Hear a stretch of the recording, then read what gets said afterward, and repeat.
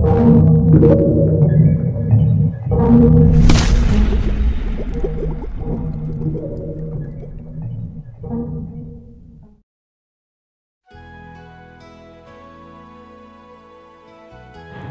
dan selamat pagi Bapak Ibu, semoga semuanya dalam keadaan baik.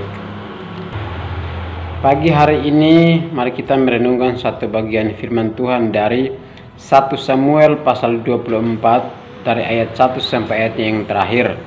Tetapi Bapak Ibu bisa uh, membacakannya di rumah mengenai teksnya.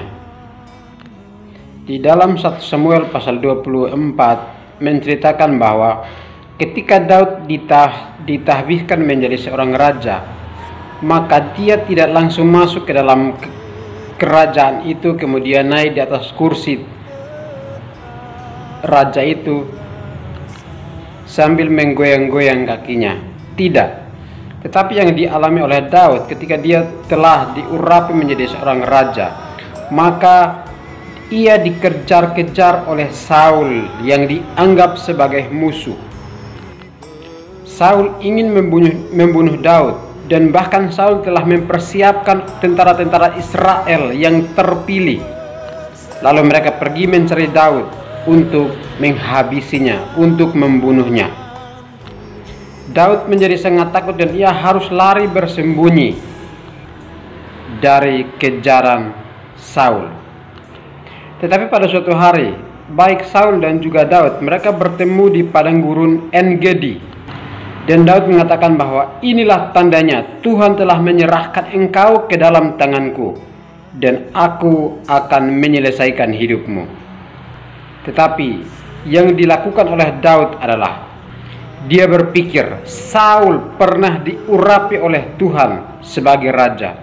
Karena itu saya tidak boleh merancangkan yang jahat kepada raja karena dia pernah diurapi.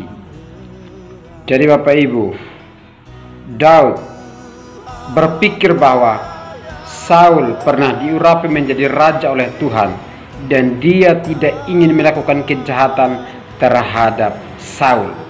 Sekalipun Saul menganggap Daud adalah musuh. Itu adalah alasan yang pertama. Alasan yang kedua, Daud tidak melakukan tindakan kejahatan kepada Saul karena ia tahu bahwa ternyata Saul mendapatkan kata-kata daripada orang lain bahwa sesungguhnya Daud merancangkan kejahatan kepada Saul. Itulah yang membuat Saul merasa marah dan mencari Daud untuk membunuhnya. Dan Daud tahu persis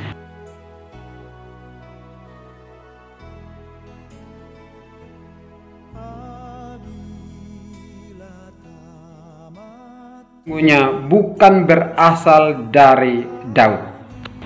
Karena itu Daud tahu persis dan ia mengatakan bahwa aku tidak mau melakukan yang jahat kepada tuanku.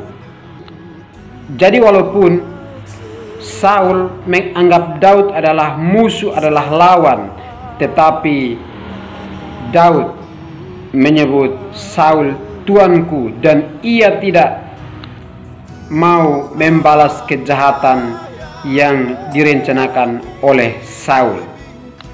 Bapak Ibu yang kekasih Tuhan, kadang-kadang mungkin kita mendapatkan kata-kata yang tidak enak mengenai diri kita lewat orang lain. Mari kita belajar mengambil hikmatnya dan kita jangan segera berpikir yang tidak-tidak. Kita jangan segera berpikir yang jahat, yang negatif terhadap orang yang merancangkan kejahatan bagi kita. Pastikanlah kebenarannya baru bertindak. Itulah pesan yang kita bisa dapatkan dari bagian kebenaran firman Tuhan ini. Kiranya Tuhan menolong kita untuk mengerti rencana Tuhan melalui firman-Nya pada pagi hari ini. Salam Tuhan Yesus memberkati.